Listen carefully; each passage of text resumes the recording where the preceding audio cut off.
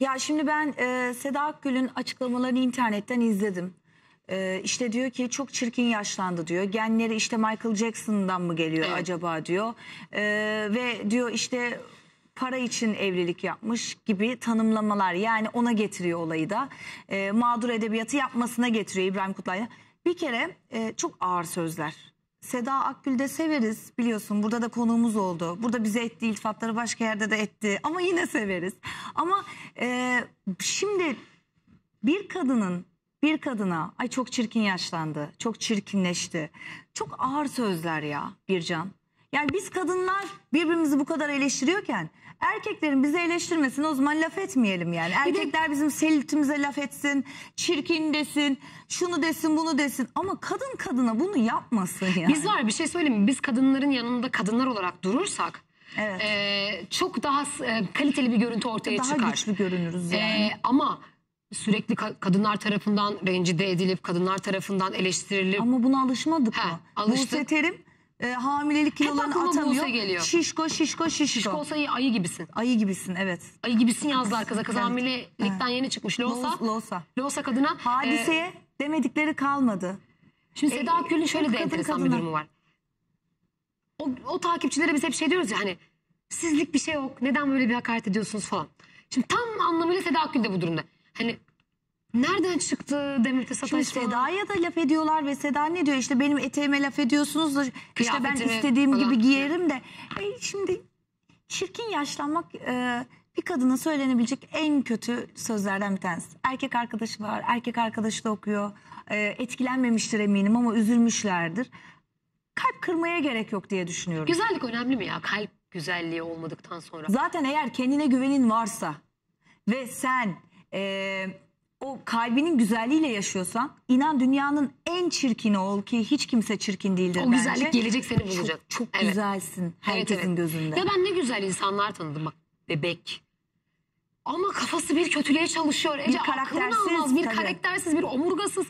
O kadar kötülüğü yan yana getiriyorsun. Senin yüzün güzel. Yerim senin yüzünün güzelliğini yani. Anladın Kalbin mı? güzel değil ki. Kalbin güzel olsun. Evet. Şimdi aslında e, Seda Akgül'ün yaptığı e, kadın olduğu için yaptığını ben doğru bulmuyorum.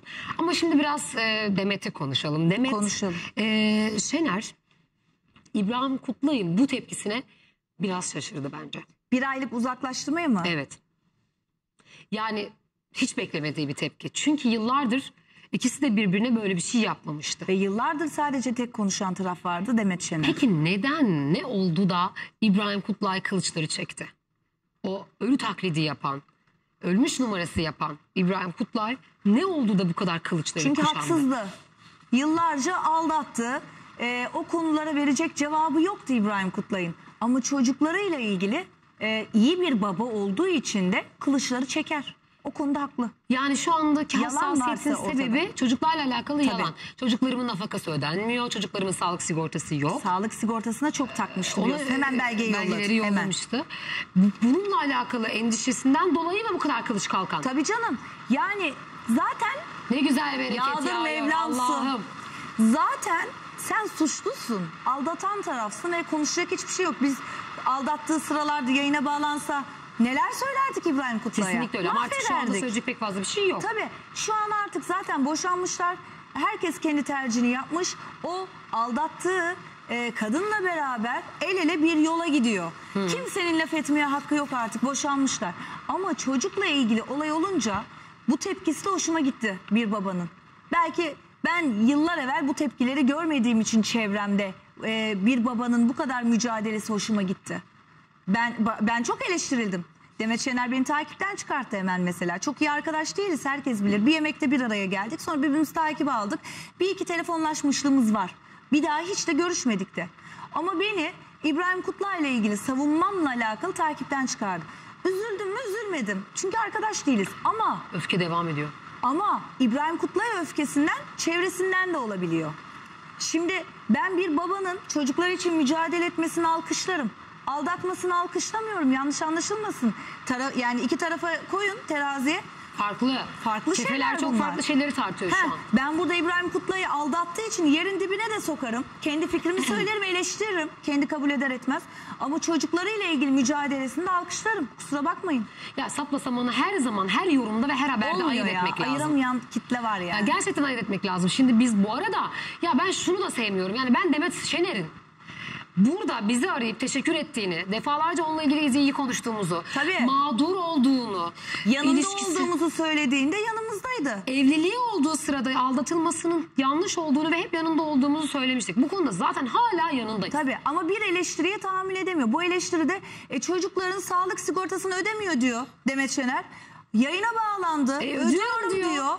Belgeyi yolluyor. E tabii ki diyeceğim Hayır, biz de o bravo belgeyi- diyeceğim o konuda yani. Biz de o belgeyi yayınlamakla so- Tabii sorumluyuz. ki. Adam diyor ki yayınlayacaksınız kardeşim. İki tarafa da cevap hakkı vereceğiz. O zaman ne olur? Zaten biz taraflı oluruz.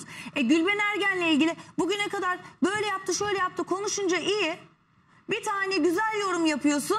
Siz satılık mısınız diyen var yani. Gülben'e Kusura yalakalığımız bakmayın. kalmadı ya. Bir Ya tane evet. güzel bir şey söyleyemiyoruz. Aşk hayatında aradığını buldu kadın mutlu diyorsunuz. Ya bu tarafsızlıktır işte. Çünkü benim Gülben Ergen'le bir sorunum yok. Mahkemem vardı. O mahkeme orada kalır.